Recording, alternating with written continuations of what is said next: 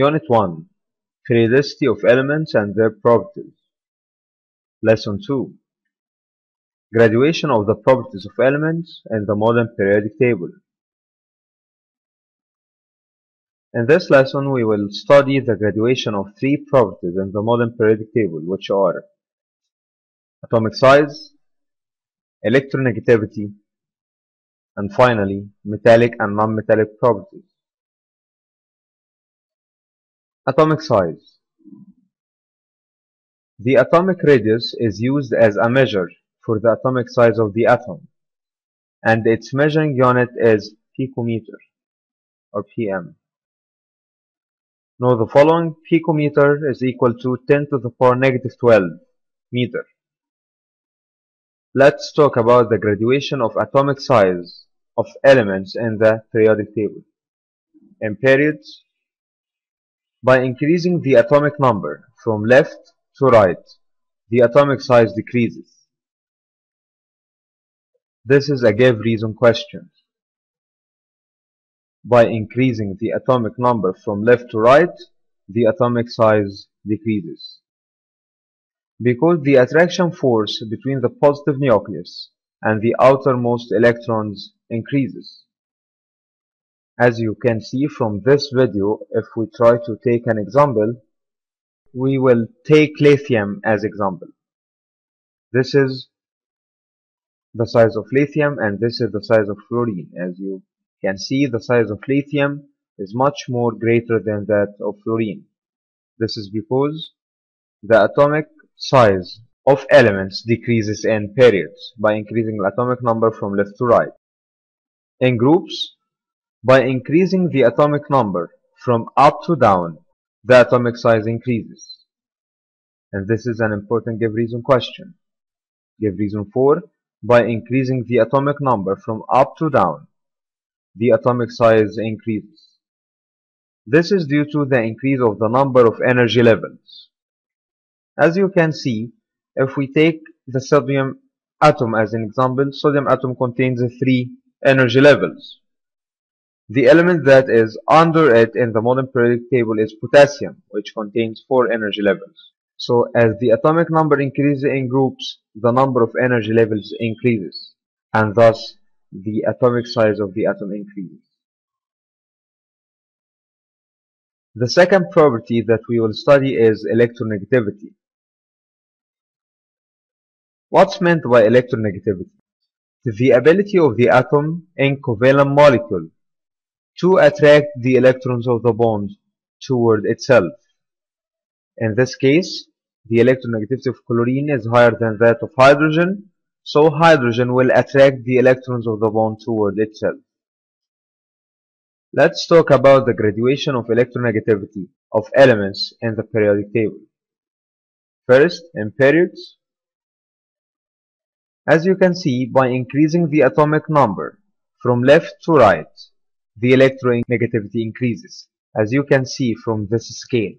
But in groups, by increasing the atomic number from up to down, the electronegativity decreases, as you can see from this scale. From up to down, electronegativity decreases in groups by increasing the atomic number. According to the previous information, we can conclude that fluorine is the highest element in the electronegativity. This is because it lies at the top right hand side of the periodic table just before noble gases. So fluorine has the highest electronegativity which is equal to 4. We can classify the types of bonds according to the difference in electronegativity as follows. As you can see from this video, these are the electronegativities of some elements. What are the types of bonds according to difference of electronegativity? The first type is ionic bond. And this occurs if the difference between the two elements forming the compound is more than 1.7. Like this between sodium and chlorine and sodium chloride, the difference between them is 2.1. The second type is covalent bonds, and we have two types of covalent bonds. If the difference in electronegativity is less than 1.7, it is a covalent bond. And if the difference is relatively high, which means near 1.7, so we have a polar covalent compound. But if the difference is relatively low, which means that it is much more less than 1.7 and approximately equal 0, so it is non-polar compounds. If the difference is 0, so we have pure covalent bond. Ionic compounds. They are compounds in which the difference in electronegativity between elements forming their molecules is higher than 1.7. Examples Sodium chloride. The difference between sodium and chlorine is 3 minus 0.9 which is equal to 2.1. 2.1 is more than 1.7 so the bond between chlorine and sodium is ionic bond and sodium chloride is an ionic compound. Polar compounds. They are covalent compounds in which the difference in electronegativity between elements forming their molecules is relatively high. Examples water H2O and ammonia NH3 as you can see the difference between electronegativity of hydrogen and that of oxygen is equal to 1.4 which is less than 1.7 but it's still relatively high so water is a polar covalent compound. Nonpolar compounds. They are covalent compounds in which the difference in electronegativity between elements forming their molecules is relatively low. Examples methane CH4 hydrogen sulfide H2S we will see that in these two cases the difference between carbon and hydrogen is 0.4 and between hydrogen and sulfur is 0.4 which is relatively low. So they are non-polar compounds. Problem. Calculate the difference in electronegativity between the two elements forming ammonia molecule. Then identify the type of bond between them. First we have to know the chemical formula for ammonia. The chemical formula for ammonia is NH3. So we have to calculate the difference in electronegativity between hydrogen and nitrogen.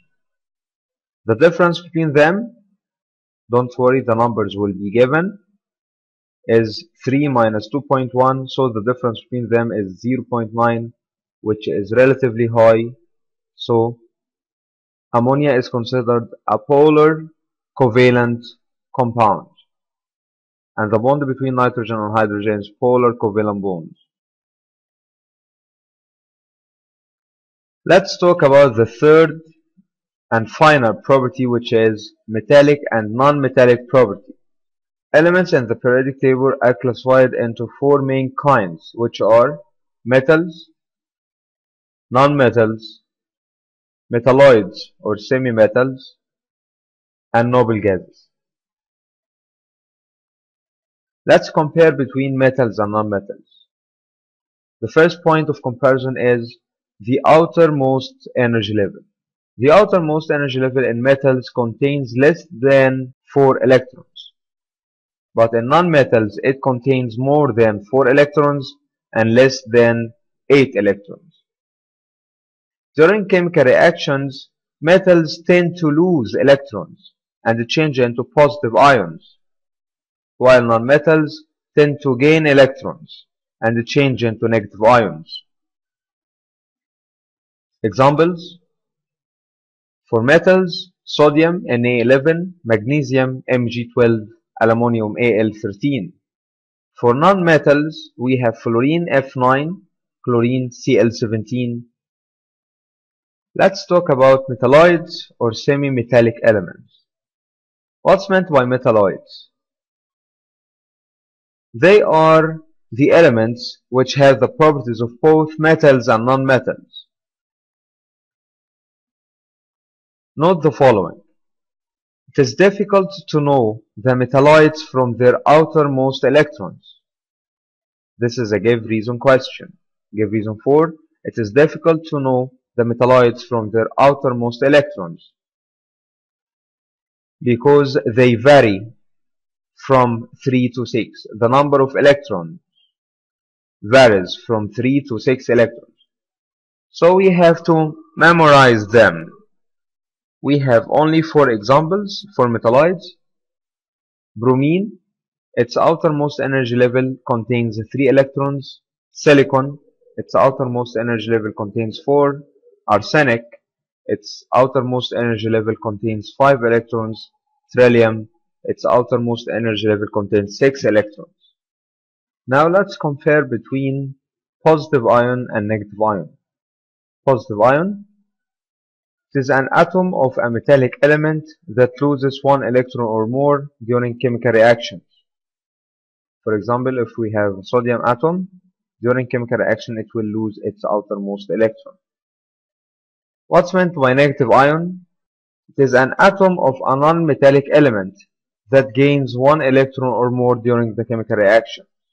For example, if we have a chlorine atom, it will gain one electron so its outermost energy level will be filled with electrons. For positive ion, it carries positive charges equal to the number of lost electrons. The sodium ion will carry only one positive charge which is equal to the number of lost electrons. But in negative ion, it carries negative charges equal to the number of gained electrons. For chlorine, it will carry only one negative charge equal to the number of gained electrons. For positive ion, the number of its protons is more than that of its electrons. As you can see here in sodium ion, it contains 11 protons and only 10 negative electrons. But in negative ion, the number of its electrons is more than that of its protons. For this chlorine ion, it contains only 17 protons and 18 electrons. Its electronic structure, this means that the electronic structure of positive ion is similar to that of the nearest preceding inert gas.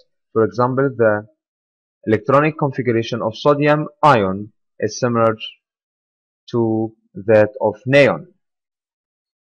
But for negative ion, its electronic structure is similar to that the nearest inert gas that follows. The structure of chlorine negative ion is similar to that of argon. The number of energy levels in it, in ion, is less than that in its atom. For example, this is the sodium atom. It contains three energy levels. This is the sodium ion. It contains only two energy levels. For negative ion, the number of energy levels in it is equal to the number of energy levels in its atoms. This is chlorine atom. It contains three energy levels. This chlorine ion, it contains three energy levels also. Examples for positive ions such as sodium positive 1, magnesium positive 2, aluminum positive 3. Examples for negative ions, chlorine negative 1, oxygen negative 2, phosphorus negative 3.